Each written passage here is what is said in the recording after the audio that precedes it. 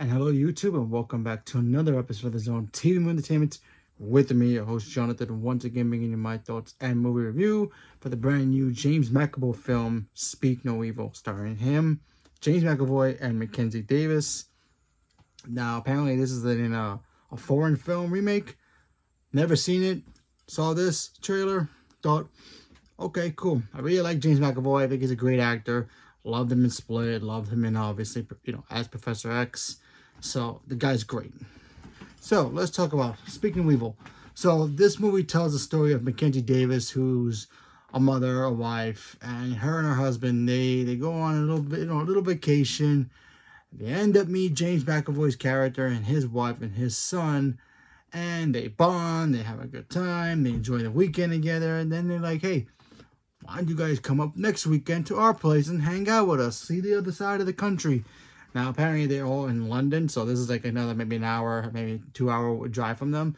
So they're like, no problem. We'll go hang out, get some drinks, have some something to eat, hang out at your crib. Our kids can play.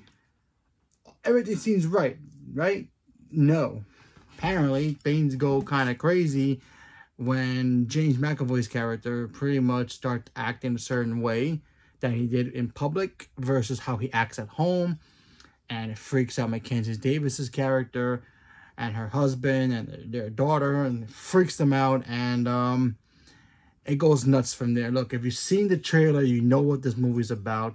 James McAvoy literally steals the show in this movie. I think he did I think he did a great job playing um not a split personality kind of a character, but more of a kind of a psychological psychopath who's also a liar. It's in the trailers. It's nothing to spoil too much.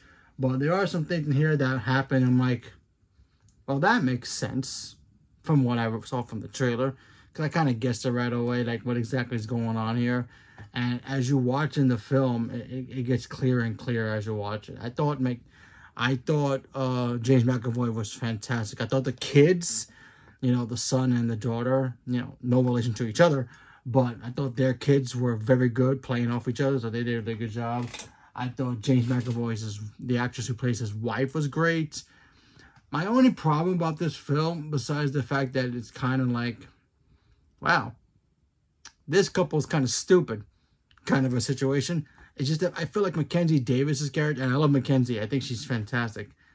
Um, I feel like her character was kind of stupid as well because there were some things in here she did that made no sense in here. And then she turned a total switch near the end. It's like, oh, now you're starting to realize certain things. I'm like, okay, okay. Overall, I thought the film was fine. Nothing really to brag too much about here. But I thought it was just an okay film. Um, but yeah, McAvoy was fantastic. I like the kids. And this the plot of the film was like, oh, so that's what they're doing. Kind of a kind of a plot. That makes sense.